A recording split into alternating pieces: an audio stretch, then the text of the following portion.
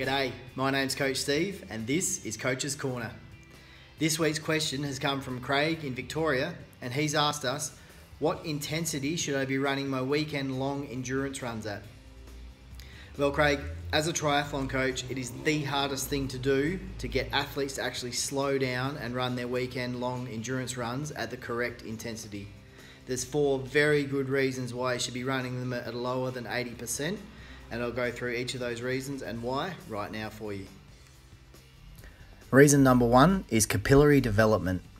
Capillaries are the smallest of the body's blood vessels and they help deliver oxygen and nutrients to the muscle tissue. The greater number of capillaries you have surrounding each muscle fibre, the faster you can shuttle oxygen and carbohydrate into your muscles.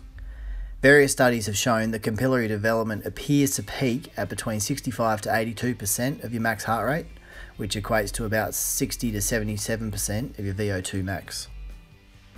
Reason number two is increasing glycogen storage.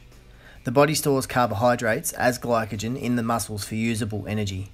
New research suggests that the brain can anticipate glycogen depletion and it will begin to slow your body down gradually.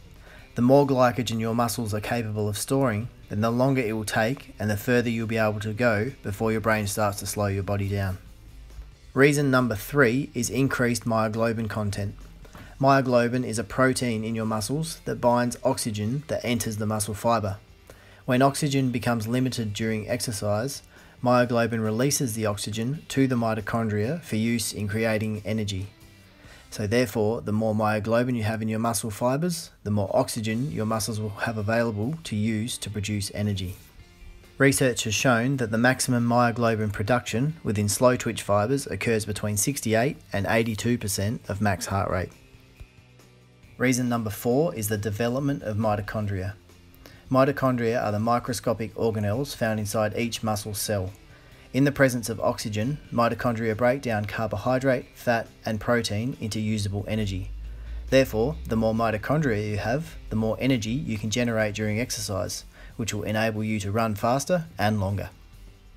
In a 1982 study, Dudley found that the best strategy for slow twitch mitochondria enhancement was running for 90 minutes at 75 to 80% of your max heart rate.